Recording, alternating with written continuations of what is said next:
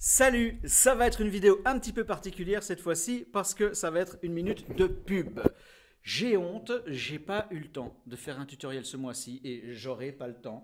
Une des raisons de ça, vous la voyez autour de moi, c'est que le studio, qui est plus un studio suite aux inondations, mais qui en sera de nouveau un bientôt, j'espère, en attendant, a été reconverti en salle de répète euh, pour le groupe du chanteur euh, Senso, euh, dans lequel je suis claviériste.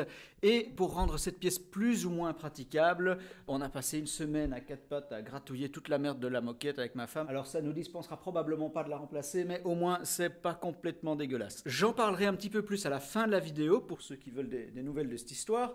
En attendant, euh, de quoi vais-je faire euh, une pub éhontée hein? Alors euh, d'abord, il faut savoir que j'ai aucun accord avec Befaco. Hein.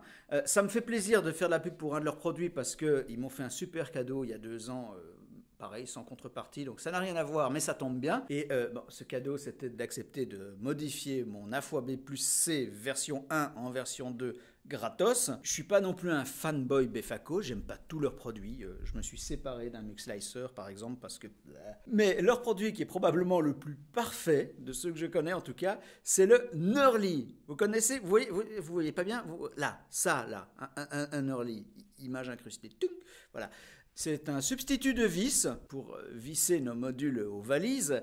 Et ça se visse avec les doigts, ça va beaucoup plus vite et ça a changé ma vie. Je vais vous expliquer. Et peut-être que ça convaincra ceux qui hésitent comme moi à dépenser 30 balles pour une centaine de vis. J'hésitais et le jour où j'ai passé le cap, euh, ça m'a.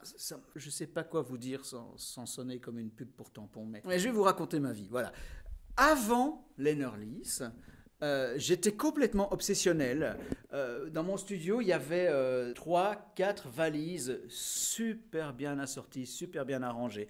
J'avais regroupé tous les HP vides dans un coin, donc j'avais vraiment joué à Tetris. En plus de ça, ils étaient rangés par bah, modules que j'étais susceptible d'utiliser ensemble. Ils étaient les uns à côté des autres.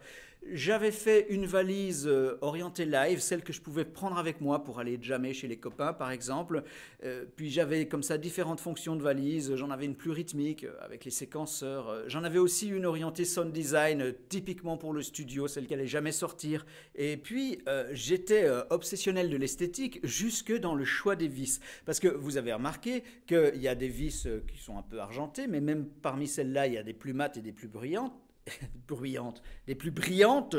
Et puis, il y a des vis un peu cuivrées, il y en a des blanches, il y en a des noires, en métal, en plastique, de différentes formes, de différentes tailles. Et puis, il y a les rondelles, il y a des rondelles transparentes, il y a des rondelles blanches, noires, il y a les métallisées, bien sûr. Et j'essayais d'assortir les vis au module, celle qui allait le mieux mettre en valeur le teint du module. Et après, ça s'arrête pas là, parce que comme je mets que deux vis par module, parce que ça m'emmerde déjà suffisamment comme ça, j'ai essayé de faire des dessins. Hein. Une fois, je mettais comme ci, comme ça, puis le module suivant, je mettais comme ça, comme ci, puis tic, tic, tic, tic, ta, ta, ta, ta, super. Mais c'est fini tout ça, parce que maintenant j'utilise les Nurlies. Et les Nurlies, ça permet de swapper, d'échanger très rapidement un module de place. Et c'était devenu indispensable quand j'ai commencé à faire des vidéos et à monter une valise pour un tutoriel particulier. Maintenant, quoi que je fasse, je monte la valise dont j'ai besoin sur le moment. Et donc, ce coin-là de mon studio ne ressemble plus à rien. Mes modules sont en vrac dans une caisse et je prends ceux dont j'ai besoin. Et si pendant un patch, je me rends compte que finalement, celui-là, je l'utilise pas, mais que je vais mettre un autre à la place, poum, poum, ça prend 10 secondes, 30 secondes, 20... Et c'est beaucoup plus vivant qu'à l'époque où j'essayais d'avoir le setup parfait que je devrais plus jamais changer et qu'évidemment je devais quand même changer à chaque fois que je sortais parce que j'avais une nouvelle idée pour laquelle il me fallait quand même un autre module et donc j'ai passé une soirée à tournevisser. J'en ai vraiment marre Donc Senerlis, pourquoi ils sont bien foutus et pourquoi ils sont mieux foutus que d'autres vis qui sont aussi soi-disant manipulables à la main? Parce qu'ils sont assez longs et ils ont un bon grip, euh, ça les rend assez confortables à manipuler. Dans les cas où ils seraient dans une position un petit peu inaccessible ou, bien coincés, ce qui m'est jamais arrivé, mais on sait jamais, il y, a moyen d'y aller avec un long tournevis parce qu'il y a une tête de vis en croix quand même. Après, il y a une petite rondelle dessus que vous voyez pas ici, mais elle, est là et euh, c'est impossible de la perdre.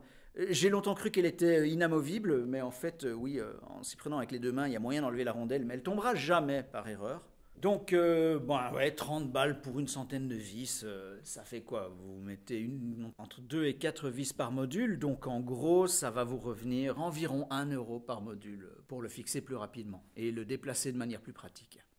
Voilà, ça c'était pour la pub. Euh, la pub gratuite non sollicitée, tellement j'ai le sens des affaires. Et maintenant, euh, des nouvelles de la suite de l'inondation. Ben, en fait, euh, voilà, c'est pas difficile. L'expert est passé. J'ai pas encore son rapport, mais de ce qu'il a dit, je pense qu'il y aura aucun problème pour tout ce qui est remise en état du bâtiment. Donc ça, c'est déjà un grand soulagement. Et pour ce qui est du matos du studio qui est foutu, eh bien ça, c'est pas encore gagné. Il me demande des documents supplémentaires que j'ai pas encore réussi à me procurer. C'est en suspens, je ne sais pas s'il va falloir se battre ou négocier, euh, ou si ça va plutôt bien se passer. C'est bon, il y a de l'espoir, je dirais. Maintenant, pour ceux qui souhaiteraient aider financièrement à la réparation du studio, et pas que financièrement d'ailleurs, hein, euh, il y a des potes qui sont venus donner des coups de main. Si vous êtes dans la région, parfois il y a besoin de bras. Et puis, je suis extrêmement reconnaissant à tous ceux qui ont laissé euh, des messages de soutien. ça compte beaucoup aussi.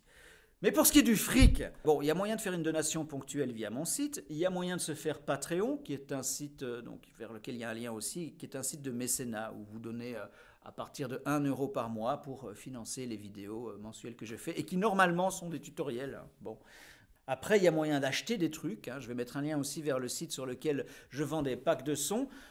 ces packs de sons, c'est bah, des samples réalisés au synthé modulaire, certains samples instrumentaux dont vous pouvez vous servir dans vos sampleurs, euh, vos séquenceurs favoris. Par exemple, pour ceux qui ont vu la vidéo euh, où j'ai fait des centaines de sons de percus avec le modulaire, ça s'appelait comment euh, Tout un set de percus sans module de percus ou tout un, tout un set de drums sans module de drum? Eh ben, tous ces sons sont disponibles sur ce site. Vous y trouverez également. Tiens, à propos de cette vidéo sur les sons de percus, quand j'en avais fait la démo, j'avais composé une petite démo dans un soft qui s'appelait Renoise. Et il y en avait qui demandaient c'est quoi ce soft que tu utilises? Et il y en a d'autres qui avaient répondu ben, c'est Renoise, gros bêta alors pour ceux qui aiment et utilisent Renoise, il y a tout un pack d'instruments multisamples pour Renoise réalisé avec le Murom Ailita, qui est un synthé soviétique avec un son absolument incroyable.